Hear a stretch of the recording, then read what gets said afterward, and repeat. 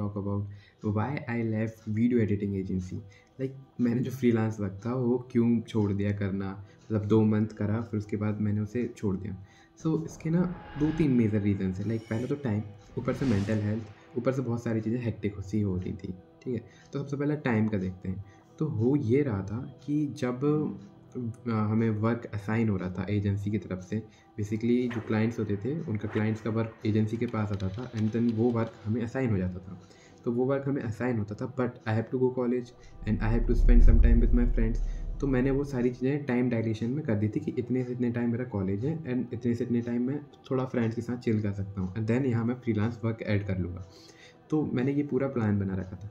But हुआ ये कि जब मैंने वीडियो एडिटिंग का काम चालू किया तो फोर टू फाइव आवर्स में लग जाते थे, क्योंकि वो काम डिपेंड करता था कि कैसा तुम्हारे पास प्रोजेक्ट आ रहा है। लाइक कभी कभी बहुत शॉर्ट प्रोजेक्ट आता था, जिसमें हमें फाइव टू थ्री मिनट्स की वीडियो बनानी रहती थी। एंड कभी कभी हमें जो स्टोरी टेलिंग्स वाली होती हैं लाइक कुछ इस टाइप से वीडियोस आती हैं जिसमें हमें एट टू फाइव मिनट्स की वीडियोस रहती हैं, जिसमें बहुत सारे कट्स ग्राफिक्स टैक्स और ऊपर से कुछ इफ़ेक्ट्स भी ऐड करने रहते हैं।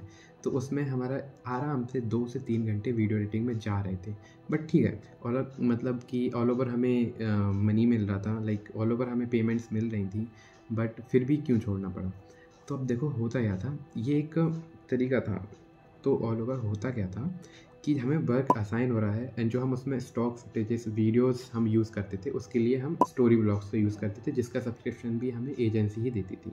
बट जो सब्सक्रिप्शन था, वो कभी कभी वर्क नहीं करता था। और तुम प्रोजेक्ट में कॉपीराइट के कारण किसी और क्लिप्स और वीडियोज़ का यूज़ नहीं कर सकते थे। देन तो जब ये काम नहीं करता था तो तुम्हारा प्रोजेक्ट रुक जाता था। एंड सेकेंड डे तुम्हें न्यू प्रोजेक्ट असाइन हो जाता था।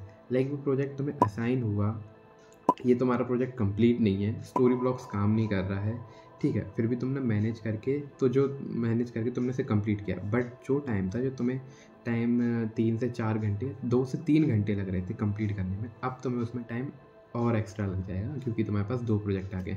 ठीक है? हमें तो पैसे मिल रहे हैं तो हमें तो करना चाहिए।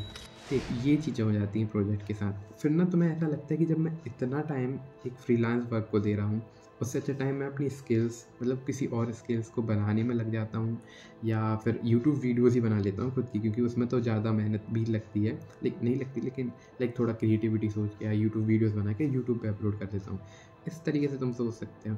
और ये डिपेंड करता है अलग अलग एजेंसी में अलग अलग तरीके से वर्क होता है। मैं जहाँ काम कर रहा था, मैंने वो लिंकडिन से ली थी लाइक वहाँ पे मैंने रिज्यूमे बताया, सारी चीज़ें बताया और फिर हमें वर्क मिला। तो उसमें थोड़ा डिफरेंट वर्क था, किसी और एजेंसी में डिफरेंट वर्क हो सकता है। बट मैं ये बता रहा था कि मेरा जो पहला एक्सपीरियंस था फ्रीलांस का, वो कुछ इस तरीके से निकला। तो इसलिए मैंने उसे आइडिया को मैंने ड्रॉप कर दिया फ्रीलांस वाला, फिर मैंने फाइवर्स पे क्लाइंट ढूंढे, जो अभी बेसिकली मुझे मिले नहीं। तो मेन रीज़न यही था कि एक तो टाइम नहीं, टाइम कंज्यूमिंग था बहुत ज़्यादा। ऊपर से मेंटल हेल्थ का इशू हो रहा था क्योंकि सारी चीज़ें हैक्टिक हो रही थी। वो अलग बोलते कि काम नहीं हुआ, साइन नहीं हुआ, तुम्हारी पेमेंट्स ड्यू हो जाएँगी। अगर तुम काम टाइम पे नहीं करते थे वर्क जो तुम्हारा था वो टाइम पे नहीं होता था तो तुम्हारी पेमेंट्स जो थी वो ड्यू हो जाती थी। लाइक उसमें से टू फिफ्टी या फिर थोड़े थोड़े चार्जेस कटने लगते थे। एंड देन तुम्हारा स्टोरी ब्लॉग्स का चल नहीं रहा, तुम्हारे प्रोजेक्ट्स बन नहीं रही हैं, तुम्हें अपने कॉलेज के भी देखने हैं असाइनमेंट सारी चीज़ें। इस तरीके से बहुत ज़्यादा मेंटली डिस्टर्ब होने लगते हैं कि अब क्या करें, फंस गए हैं और इस तरीके से। तो मे बी मेरे अकॉर्डिंग पहले तुम्हें छोटे छोटे प्रोजेक्ट से स्टार्ट करना चाहिए। फाइबर से क्लाइंट लाओ कोल्ड ईमेलिंग करो कहीं कहीं से क्लाइंट लाओ, फिर तुम्हें एजेंसी में जाना चाहिए। क्योंकि वीडियो एडिटिंग ऐसी चीज़ है, अगर तुम्हारे अंदर पेशेंस है लाइक तुम उसमें थोड़ा टाइम दे सकते हो तभी तुम फ्रीलांस वर्क कर सकते हो। क्योंकि उसमें एक और मेजर फैक्टर होता था कि अगर तुम्हारा प्रोजेक्ट बन जाता था फिर वो रिन्यू होके फिर से तुम्हें उसमें एडिटिंग के लिए वो आती थी कि तुम्हें इसको रिकरेक्ट करना है या इसमें ये करेक्शन करना है या चेंज करना है। दैन उसमें बहुत ज़्यादा प्रॉब्लम होती है। तो ये था पूरा रीज़न कि क्यों मैंने एजेंसी को छोड़ा। लाइक like, ज़्यादा कोई ऐसा वो भी नहीं था बट एजेंसी बहुत अच्छी थी।